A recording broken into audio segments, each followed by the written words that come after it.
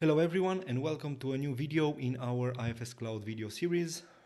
My name is Marcel Ausan and I'm an IFS consultant and today I plan on discussing and showing how to manage part creation in IFS Cloud. So we will be going through the different part structures that exist, yeah, starting with master part, inventory part, purchase part. We will touch a little base bit on the sales part as well uh, so first of all, in order to understand how the part structure works in IFS Cloud, yeah, we have the, to have a look at the following image that's pointing us into the, the correct direction. So basically at the top of the hierarchy, we have the part catalog, which is a global data. So basically all the companies, all the sites, all the users, once they have access to the part catalog, irrespective of their sites or companies, they can see the part catalog data. Yeah, so this is part catalog, if you will, is the master part. And then going one level below, we have the different topics about inventory part and non-inventory part. Of course, in our scenario, since we want to be selling some inventory parts to Decathlon, to the customer that we created in a previous video, yeah, we will first start with having a look at the part catalog and then inventory part is everything that you can put in your warehouse. Yeah. Usually it's a physical part, has some physical dimensions and can be stored in your warehouse. Yeah, and now your inventory part can be of different types. Yeah, you can have your inventory part be of type purchased, so you buy that inventory part from another supplier. This is what we will do in this um, demo series. So whenever we create an inventory part of type purchase part, then immediately a purchase part will be created automatically for us. Of course, we can have the scenario where our inventory part is manufactured part. So this means we will produce it in our site in the shop floor. And of course, since we don't purchase the parts just for the sake of purchasing them, but we also want to sell them, of course, then we also need to create our inventory part as a sales part so that we can put it on a customer order. Yeah? And when we talk about sales parts, yeah, we can have single sales part or we can have manage them like a package. Yeah? But I will go into these details in a later video. For now, what we will be doing, we will be starting from the inventory part. Yeah, we create the inventory part. The creation of the inventory part will check if there is a part catalog existing. If there is no part catalog, it will also create a part catalog automatically for us, which is quite a nice feature. And then if we create the inventory part as a purchase part type, then also the purchase part will be created automatically for us and then we will also have a look at uh, the sales part creation yeah on the other side is the non-inventory part this deals with all kind of services that we can purchase or sell yeah? also the services that we purchase have prices the same as the services that we sell but basically these are non-tangible um, parts so it's not something that you would normally put in your inventory. Good but without further ado let me dive straight into the system and then we can have a look at how to create the inventory part and the master part the purchase part and sales part. So basically we start this process from the inventory part. If you remember i was telling you the inventory part it can create automatically the part catalog if it doesn't exist. And so it makes sense we start the process from here. So how do we create an inventory part? Basically, we just press the plus sign to copy the part, to create a new part. Then we can give it a, we can give it a number. Basically, it's an alphanumeric character that is allowed to be, to be passed in. So I will just create a part number for a bicycle called Cube Reaction Pro.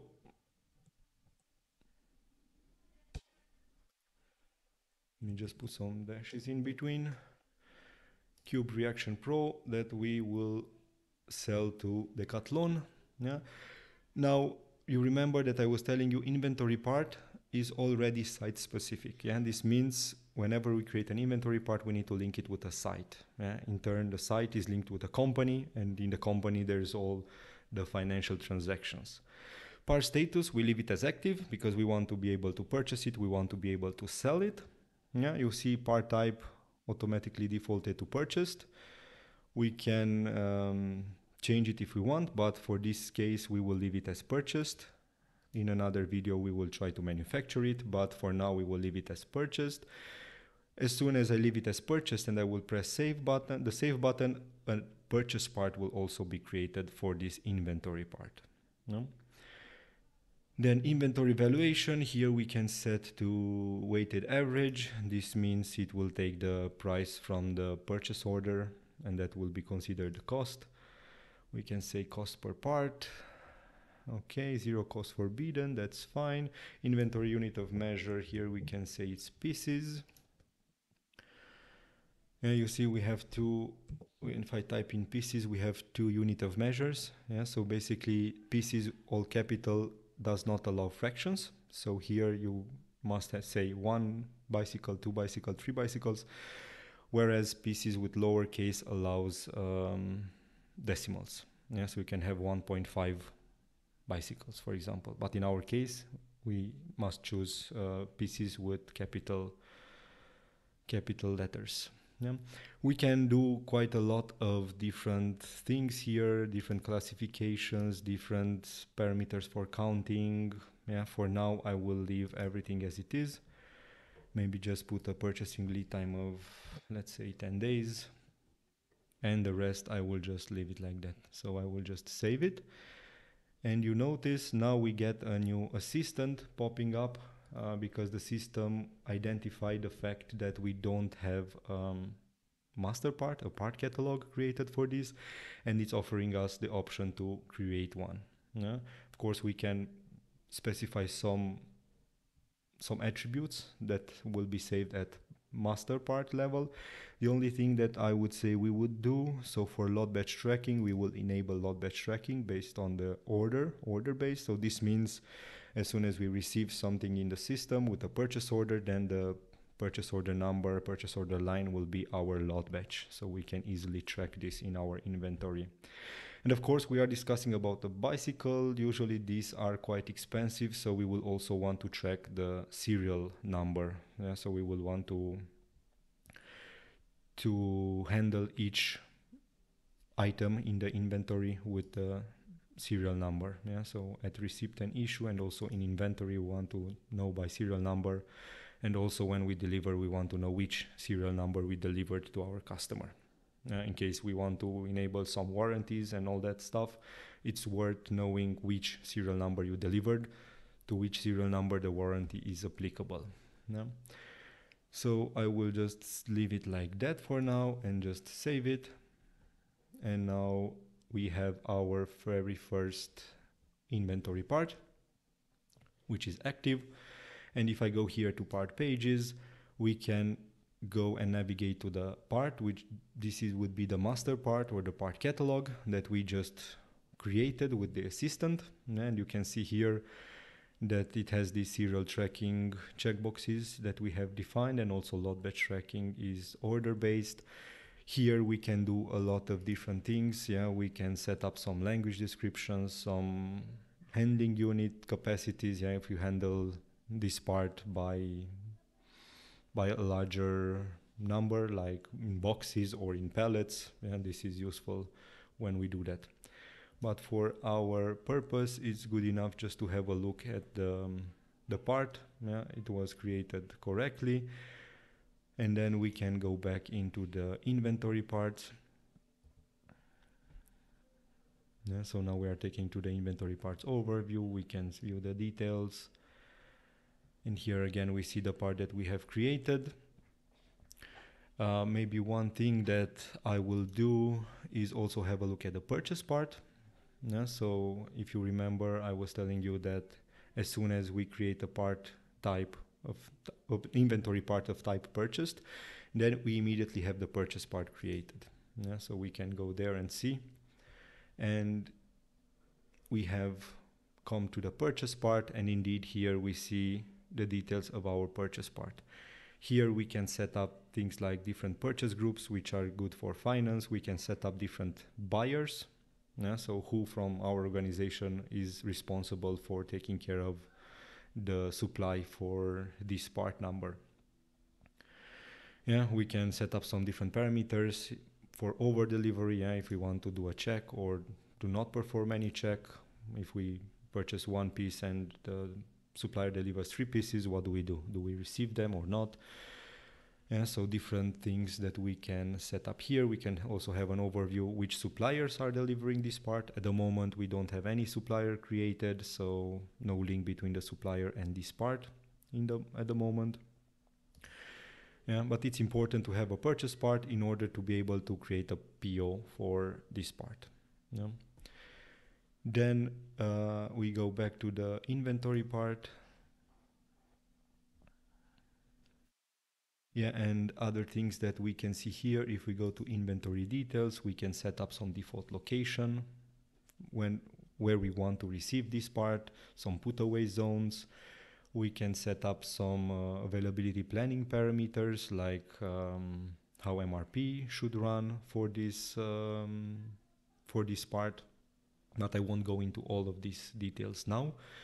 And the next thing, next thing that we will do, basically, if we go back to the purchase part, we would be to create a sales part. Yeah. In order to create a sales part, of course, we can go to the navigator and try to create a sales part. So find a page in the navigator to create a sales part, or we can go to the purchase part, and in the purchase part we have a create sales part button.